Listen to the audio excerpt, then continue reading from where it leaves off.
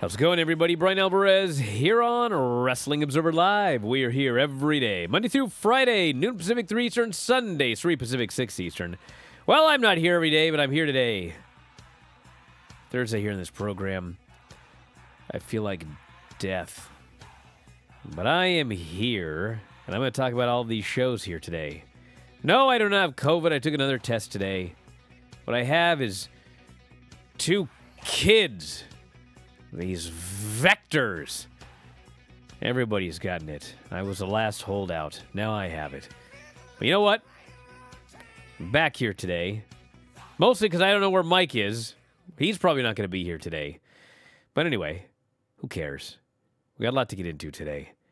We have, uh, you know, what I was most sad about yesterday missing the show was I couldn't do the NXT report. So maybe I'll talk about it a little bit today.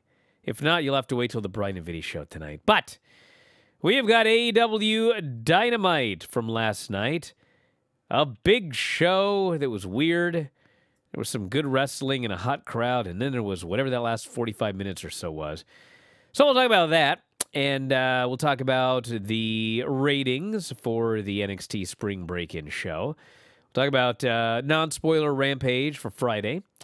We've got uh, tickets going on sale for shows. We have got uh, an AEW power failure that actually affected the Dark Elevation tapings, but did not affect the main show, thankfully. And uh, New Japan, New Japan Strong this week was supposed to be a uh, a special two hour episode, and boy, was I not happy about that. There's so much stuff that I got to watch every week. I did not need two hours of New Japan Strong. And the wrestling gods heard my plea. They probably thought this poor bastard's sick. Let's give this guy a break. So instead, it's, it's going to be split into two shows. So uh, two one-hour shows. Everything's back to normal, and uh, we got a lot more to get into. So let's do this, everybody. Let's get it on. Wrestling Observer Live. Back in the show, Bryan Alvarez here, Wrestling Observer Live. Mike Sempervive, also of WrestlingObserver.com. Let's do a little bit of news here, then we'll get going today. And then I'm going to tap out. You know what I did before the show? I napped. I never. Me too. Yeah, I know. All right, the spring break-in edition of NXT, 661,000 viewers on the USA Network, up 14.6% from last week. Highest viewership number the show's done since January 4th. 33rd on the cable charts, 0.13 and 18 to 49. Obviously, the NBA playoff did very, very well.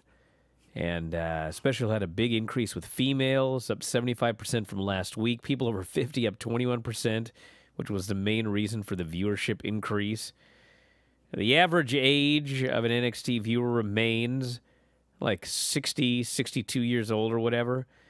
And uh, I don't think I'm going to review all of NXT. I know Mike did it yesterday, but I later later on, if I have time, I got to make a point here.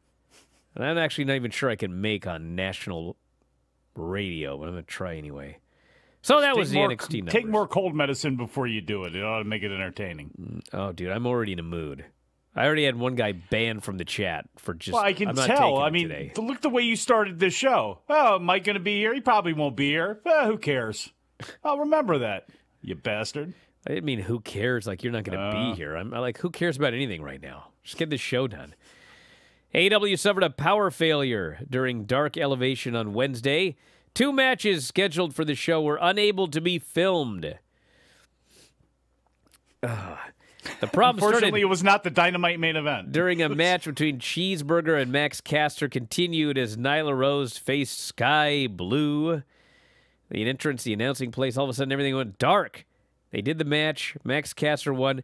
These it's okay to give you spoilers to everybody because you're never going to see the match. It's not going to air. It wasn't taped.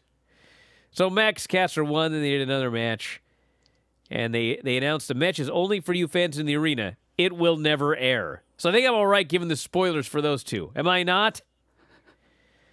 And then uh, the power came back on. So you know things happen.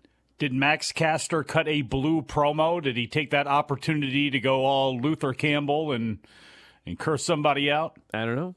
I don't know. We'll never know. We'll never know. And then New Japan has announced a change of plans for this Sunday's episode of Strong. So Strong was going to be a two-hour show. Two hours. You guys realize there's a WWE uh, pay per view this weekend? You probably don't realize that because it's like the worst build to a pay per view in a long time. But uh, there's a WWE pay per view this weekend, a UFC pay per view, and Stardom was last night, which I have to watch for the filthy show. And I don't need two hours of strong. I'm sorry. And uh, thankfully, it's not anymore. They've split into two shows. So this Saturday, it's Tom Lawler, J.R. Kratos, and Royce Isaacs versus Fred Rosser Alex Coughlin in the DKC. Jonah versus Blake Christian. And Hikuleo and Chris Bey versus Bateman and Barrett Brown. And then next week, we've got Jay White versus Hikuleo. Fred Rosser uh, versus Royce Isaacs and Jorel Nelson. Handicap match. And uh, Rocky Romero, Adrian Quest, and Alex Coughlin face J.R. Kratos, Black Tiger, and Danny Limelight. Was there a philosophy as to why this thing was going to be two hours because of the Philly and DC shows? I mean, I don't know. Hmm. No clue. Well, they actually, they made the right decision, to be honest. So Yeah, they did make the right decision. So that's the news, everybody. I guess those Forbidden Door tickets went on sale and blasted away. So that's nice. And, uh, guys, what do you want out of me? What do you want out of me here? oh my, You know what? I'm gonna make a. I'm gonna. I'm gonna do a. I know everyone's like furious about this, but just bros, chill out. I'll do. I'll do AEW when I have a full segment. But since we got a few extra minutes here, okay, I gotta make mention of something from from NXT. Okay, it's not even a segment, so just listen, bros. Okay. I realize that you know you know who's in charge of NXT right now is is is Shawn Michaels, but I can't blame him because is, I don't think this is coming from him. But you know, he's a nice Christian man. Probably doesn't go on a lot of porn sites, right? Isn't that theory? I should probably ask Craig. But so I'm watching this NXT show, you might see another Shawn Michaels. and they're doing this segment with uh, Jacy Jayne and Gigi Dolan, and they're at the beach. And they're practically they got no clothes on. And they're doing this segment and they're running around and, you know, spilling out everywhere. And we we just had that interview with Ember Moon where they were told to dress more like Mandy Rose. And Mandy Rose is is the champion, and they're always out there posing, and she's always in her, her outfits and everything like that. And uh, bro, there's no young people that watch this show. There aren't any. The average this show is is the viewership is so old. Okay, Viewership so old Hold it makes on. us look young. hold on. now, uh, you know that uh, it's like I was I was actually you know what I was gonna do is I was gonna have you. I'm not gonna do this because it's just like I, I can't bring myself to do it. But I yeah, was gonna have What is it? I was gonna have you name a type, and then I was gonna see how quickly I could find that type nude on the internet. Okay. Okay. It would take me. You could name brunette, uh, you- whatever. Okay, it take it take me, and it's not just me. It's anyone listening to this right now. It's gonna take you two seconds to find an example of someone that looks like this nude. Probably doing a lot more than just being nude on the internet. Okay, bros, it's 2022. Okay, your idea to get young viewers is to put women in bikinis on television brother, guys, like, I'm I I can't believe it. It's not gonna work, bro. If anybody wants to see good-looking women or men, for that matter, wearing a lot less than anyone's wearing on NXT, it's two seconds on the internet. Okay, this ain't gonna work. Now, let's move away from pulchritude. You guys know what yesterday was? It was uh it was May 4th. Okay? Some of you nerds probably have heard May the 4th be with you. It's Star Wars Day, okay? Now I'm one of those nerds now cuz my daughter loves Star Wars. All right? So my daughter's like totally in all this Star Wars stuff, but I don't want her I don't want her watching a movie where some guy's getting his hand chopped off with a lightsaber. So I try to find everything I can that a kid could watch, all right? So one of the things I found the other day no, so just let's just bear with me. One of the things I found the other day was a documentary about the making of Star Wars. Okay, and they're interviewing George Lucas, who was the guy that created Star Wars, and he's talking about film studios in the in the late 60s and the early 70s. Now everything was changing, okay? And all the old people, does this sound familiar? All the old people were retiring, okay, from these studios. These studios were being sold. You know what George Lucas says? He goes, "They discovered that what young people wanted was movies made by other young people. Huh. So you're telling me, you're telling me what young people wanted was movies made by other young people. And meanwhile, we've got, you know, NXT is just one example, but we've also got WWE, which I know everybody thinks nobody but children watches WWE. Bro, there ain't no children watching WWE. It's also all old people. And yeah, AEW, there's a lot of older people as well, but I mean, at least we're talking, you know, late 40s, not 60s. And what we've got here is wrestling booked by old people, TV shows created by old people, NXT, old people running this show. And all they can come up with to get young people is not young people booking the show. Oh, let's just put random women in bikinis. That'll work. Well, it's not. It's time for a change. I think everybody knows what it is. Back in a moment, Observer Live. I got one last thing to say, then I'm moving on. So don't jump in, Mike. Let's just move on to AEW. I am not anti old, okay? If I had a billion dollars and I started a wrestling company, I'd hire Shawn Michaels maybe before anybody else. And you know what? I'd hire Vince too. I wouldn't have him book, but I'd ask him, like, what do you think about this or that? I mean, the guy's been doing this for a million years. But my point is if you want to attract a young viewer, then the person writing the shows in their late 70s probably is going to have a hard time. All right. AEW Dynamite. The show was uh, a mix of highs and lows, brother. Owen Hart, Bobby Fish, or Owen Hart Foundation Cup qualifier, Jeff Hardy and Bobby Fish, was a uh, it was a weird match. Jeff Hardy looks like he is in tons of pain, and he is slow, but the fans love this dude. And like every time he did one of his high spots, they went crazy. Every time he teased anything, they went crazy. He had this the senton, they went crazy, and he won. And then the Young Bucks came out and they uh, they had a moment with the Hardys, and then they moved on to check on Bobby Fish. And uh, from watching Jeff move around, I mean, if we're gonna do this match in AEW, let's do it quick. So I think that match is coming here pretty soon. We had a fabulous William Regal video package. This was so awesome. Training this poor bloke Wheeler Yuta. And then uh, Bryan Danielson, Jon Moxley, Wheeler Yuta beat the Butcher, the Blade, and Angelico. I don't care what happened during picture in picture, okay?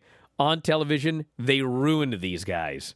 They smashed them, they pummeled them, they bloked them all up, and then they uh, did the triple submission, and uh, Danielson triangled, as uh, Regal calls him, Angelico, and got the win. So they're getting the big push here. And we got to talk about uh, rankings later, okay? Don't let me forget, Mike. We had Ricky Starks and Powerhouse Hobbs at meeting with uh, Jungle Boy, Luchasaurus, Christian Cage. And Jungle Boy said, listen, you guys want a tag title match? We've been thinking about it, and we will give it to you. But on the condition that I get a shot at Ricky Starks FTW title next week. So that's on. Wardlow came out fans are absolutely so into this Wardlow bloke. He comes out, he gets in the ring, and yes, they bring out W. Morrissey, the former Big Cass. And he's seven feet tall, as promised, and you can't teach that. And he gets in the ring and he's pummeling old Wardlow, and fans are, are chanting for Wardlow. They're actually chanting uh, we want Enzo. No, we don't. And Big Cass also does not want Enzo. He's screaming at these fans to just shut up about this little nerd.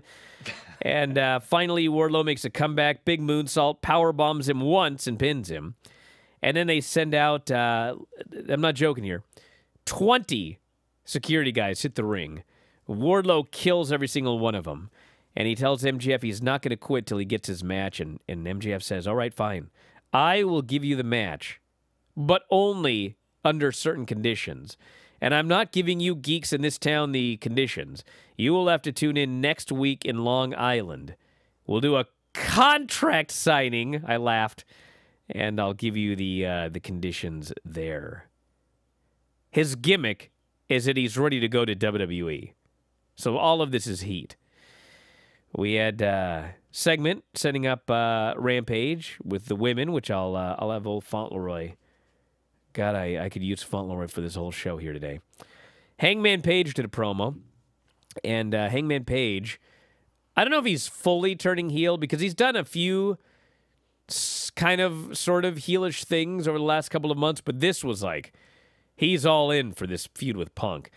He's not going to be doing these masturbatory Bret Hart tribute matches.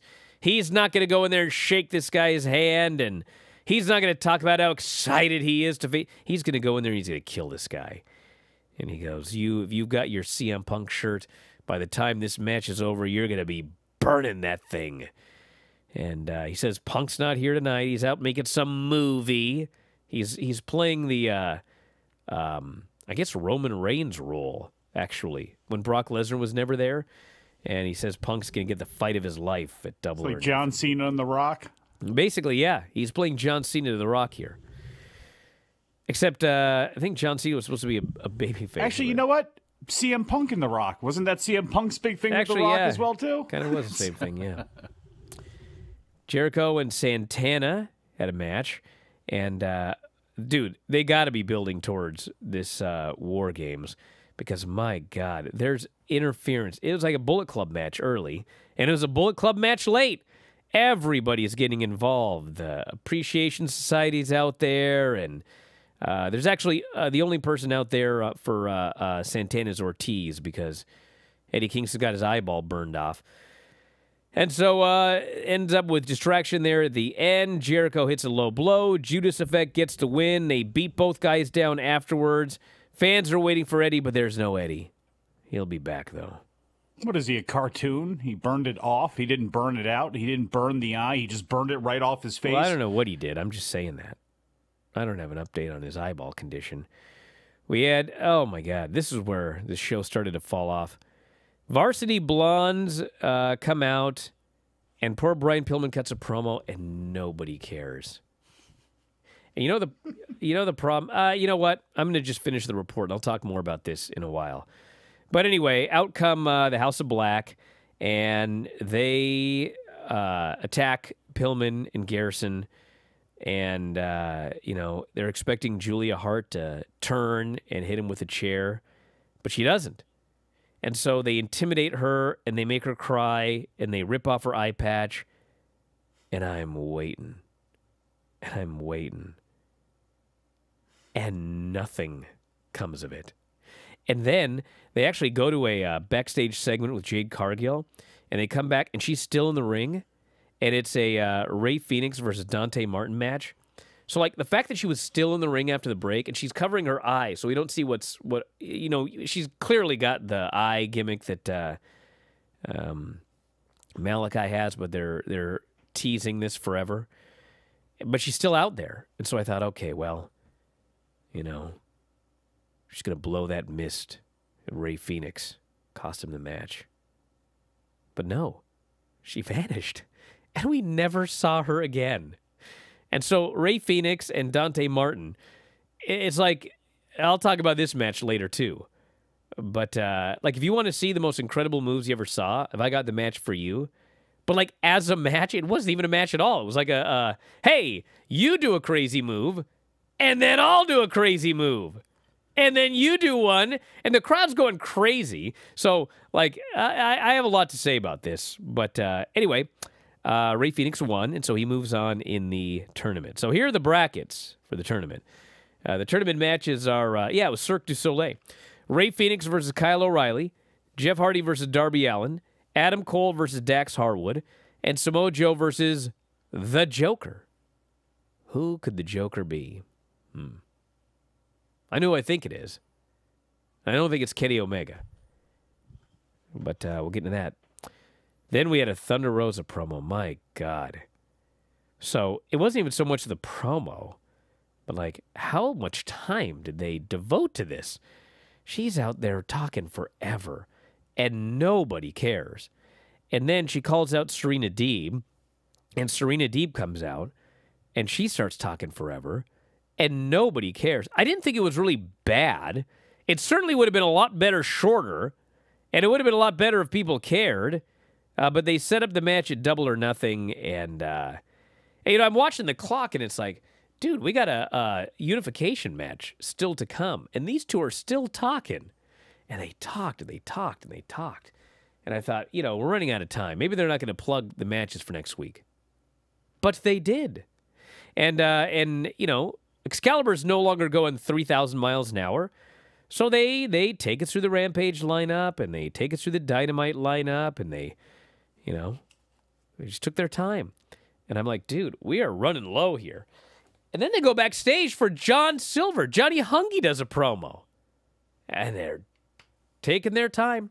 So by the time Mercedes and Deonna got in the ring, they have nine minutes of TV time left. Nine. And the bell rings, and uh, the first thing Deonna does, she backs off. She listens to the crowd.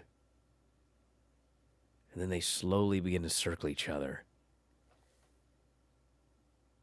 I'm like, what is happening? And then the announcers are like, we're going to stay here as long as it takes. And I'm thinking, do they actually really get an overrun for one? Because they always say that, but they never actually go past the top of the hour. And bro, they are look they are working a match like they're going to go 20. And I'm looking at my watch and it's like, bro, there's there's no time left. They go to commercial, they come back, there's six minutes left. And uh, and you know the match, like Deonna's a really good worker, and and but the, nobody cared about this match at all. And uh, and finally, the it, literally the the last second with moments left, uh, Mercedes Martinez curb stomps her and she goes for the dragon sleeper. And at least everybody knew the dragon sleeper because they actually woke up for that, like, ah! And then uh, Deonna taps. And Mercedes gets the belt. She holds them up. They're off the air. So I understand that, like, two belts on the line. They wanted to make this a big main event. They wanted to give respect to the titles. Fans did not see it that way at all. So, last 45 minutes of this show, yikes! I expected to uh, die a death in the quarters, but I've been wrong before about that. We'll talk more about specific segments after the break. Observer Live. Back in the show, Bryan Alvarez here, Wrestling Observer Live. Mike Sempervive, also WrestlingObserver.com.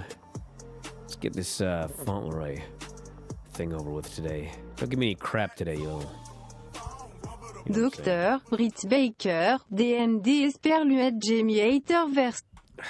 Wow. Speaking the Deutsch? Absolute idiot. Huh. I want in Dutch, you moron. I said Deutsch, German. I'm not talking idiot. about you. I'm talking about that other moron. You're all idiots. Let's try this again. Jiminy Christmas. Dr. Britt? Baker, DMD and Jamie Hayter versus Toni Storm and Ruby Soho. Konosuke Takeshita versus Jay Lethal. Hook versus JD Drake. Owen Hart Foundation Cup qualifier, Riho versus Yuka Sakazaki. I hope you feel better soon, Daddy. Don't even start that. What was I going to talk about on this show? that. I'm going to talk about something on this show. What did I want to get into? You had a bunch of things that you decided to put off until this third segment here. I did. Which- you know anything why? in Because particular I'm a, that you I'm a professional and I, I got the timing perfect for the entire. Uh, Oh yeah. I did.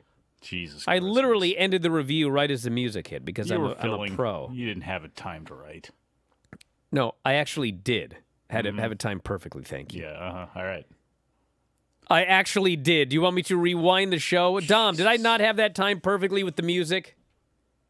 You did. There were like two seconds left. Thank you. Oh, will you kiss that? You. Oh my. I mean, it's God. not like it You didn't know happen and everyone heard it. I think I'm gonna take the day off tomorrow. I'm feeling ill right now, having to do this show with you. I'm I'm starting to catch the vapors through the internet here from you. Vapors. Yeah, whatever it is you got. All right, so this uh, Julia Hart thing, guys, I don't know what's going on here. Well, I mean, I know what's going on. Here, here's the thing. They take their time, okay? and they're clearly taking their time with this one here. But this segment, I mean, it starts out with Brian Pillman doing a promo, and absolutely nobody cares about this guy's promo. And you know, part of the problem is, which actually brings me back to NXT 2.0. He's not over in the way people want him to be. No, this spooky stuff sucks. Okay, it sucks. You guys remember Bray Wyatt? I know, you know, one guy who was all mad. He was like, Bray Wyatt was the most over guy. Bro, he was not the most over guy in the company. I don't care if he sold some shirts, bro. If this guy was the most over guy and the biggest merchandise seller and the biggest, eh, all of that, you don't fire that guy, okay? They took him off TV and they fired him, all right? Then, who was the female fiend? Alexa Bliss. Where's she? Oh, she's nowhere to be seen.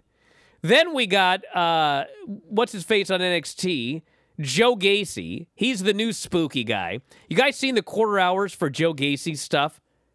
Bro, collapsing. And nobody cared about Joe Gacy and Bron Breakker on Wednesday.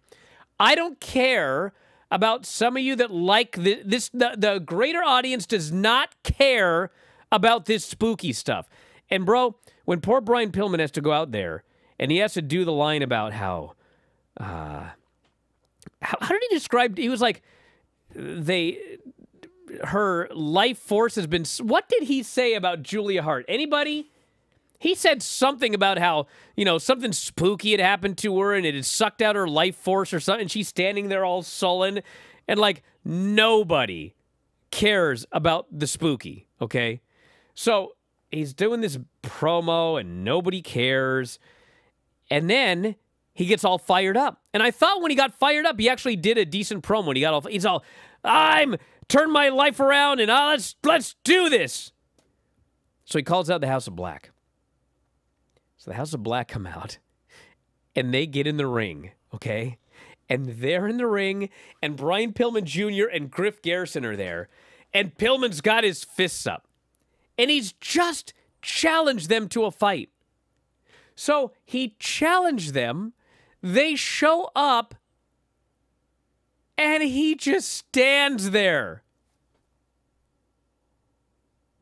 And finally, the House of Black's like, all right, fine. And they beat the heck out of this guy and his buddy. And, and I'm like, God, this poor guy looks like such a geek right now. And they pummel him and they pummel him and they beat him down. And then, you know, I think, you know, all the fans are expecting that Julia Hart's going to turn, but she's still with Pillman and Garrison.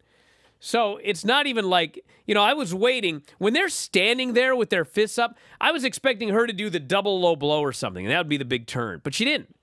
And so then now it's not even like it's going to be a surprise. The House of Black just goes up to her and they give her a chair. So she gets the chair, and she's standing over and she raises the chair over her head, and then she puts it down. And then Malachi Black, he like goes over and he starts yelling at her, and, she starts. "Ah!"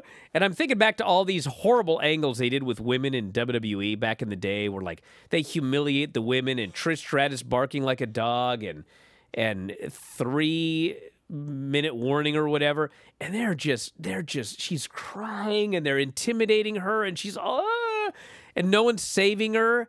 And then Malachi rips the thing up, and she just covers her face. And I'm like, this is very uncomfortable. What's the point? And I'm waiting and I'm waiting. And then it's just like, well, we're going to go to the back for an interview with uh, Jade Cargill. I'm like, okay.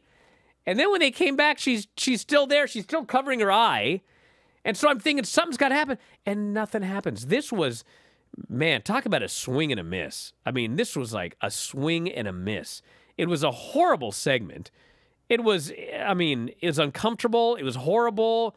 You know, I wasn't. Uh, it's gone on for six months. well, yeah, but I mean, months Wardlow went on for almost two with a years bunch and of it worked. people with the, because they were far more over than Brian Pillman and Griff Garrison are. They're not even close to being over. You debut the House of Black, you set it up, you get Bl- you get Brody King in there, you get Buddy Matthews in there, and it's looking like it's going to be fine. and then they're off TV for God knows how long. They're well, they're doing dark or they're on elevation, and it looks like we're going to get this storyline. It seems like it's coming to a head, and then it just disappears. How do you expect anybody to want to care about this? It has not been consistently in anybody's wheelhouse as a viewer. It came, it went. It, the last time everybody was in the ring together, I don't think anybody really cared. They didn't get revenge. They didn't avenge the girl. She just ended up sitting there moping on the steps where she could have just remained for this entire time. The whole angle has sucked. The whole story has sucked. And you bring it and you pull it back and you bring it and you pull it back.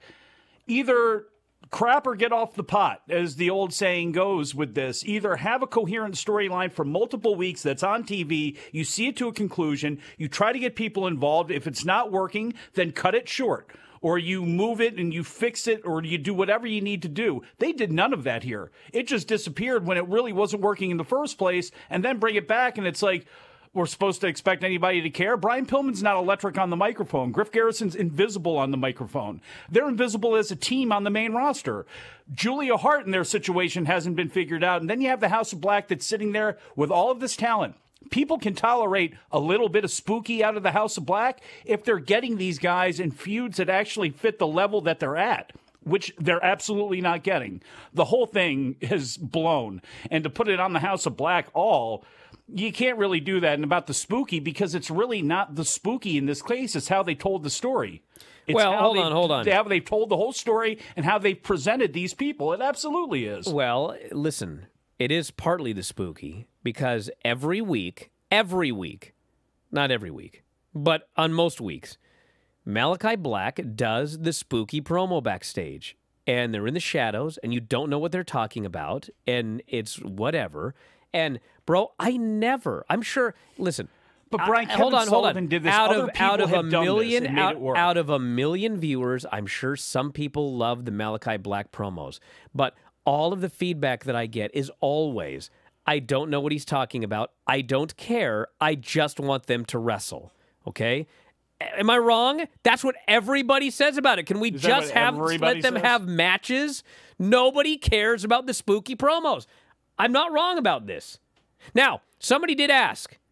All right, it was it was not even asked. I didn't like- say that. What I said was they can handle a little spooky as long as it's being balanced out by the other stuff people want to see out of these guys. I don't even think we need any spooky, but fine. You can if you want a little spooky, that's fine. But someone was like, trust the process. Listen, the Wardlow thing that I brought up, the process worked, okay? And you know what? They do long, slow builds for a lot of those storylines. And I actually believe, okay, I do believe. But you got to build it. Well, hold on. There's a well, they are difference. building it, but this is my point. I do I, believe obviously with that one. I do believe when they pull the trigger on Julia Hart, the place is going to go nuts. Okay, I do believe that's going to happen. But I have seen Does it sustain? it does not always work.